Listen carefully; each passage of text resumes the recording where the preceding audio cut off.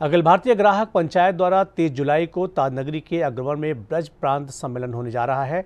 Seminar की तैयारियों को लेकर ग्राहक पंचायत जिला इकाई आगरा की एक बैठक इंदर एंक्लैब बल्केश्वर पर आयोजित की गई। अखिल भारतीय ग्राहक पंचायत जिला इकाई की आज एक बैठक।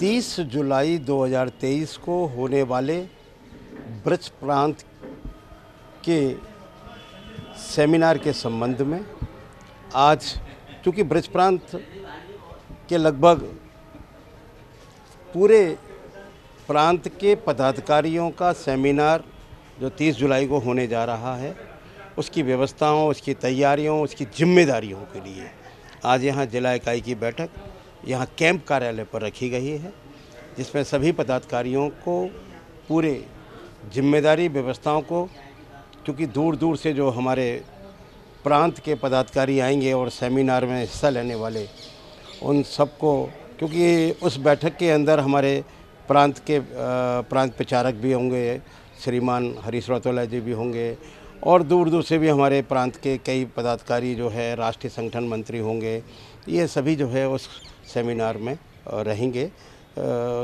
जिसके लिए आज बैठक आउट की अखिल भारतीय ग्राहक पंचायत की तरफ़ से यहाँ आगरा में तीस तारीख को जो सम्मेलन हो जा रहा है, ये अखिल भारतीय स्तर पर जो आगरा में, सितंबर में जो केंद्र में, दिल्ली में जो महाधिवेशन होगा, जिसके अखिल भारतीय ग्राहक पंचायत के जो 50 वर्ष पूरे होने जा रहे हैं, शताब्दी वर्ष मनाने जा रहे हैं हम लोग, उसके उपलक्ष्य में हम लोग जो तीस तारीख को प्रांत की बैठक अच्छे स्तर पर बुला रहे हैं, अतिथि वन आगरा में।